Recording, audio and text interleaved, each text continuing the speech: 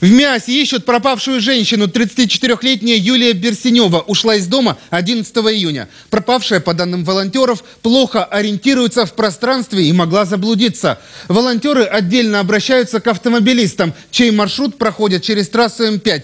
По их предположениям, она может выйти к магистрали. Родные Юли ждут звонков от тех, кто ее видел.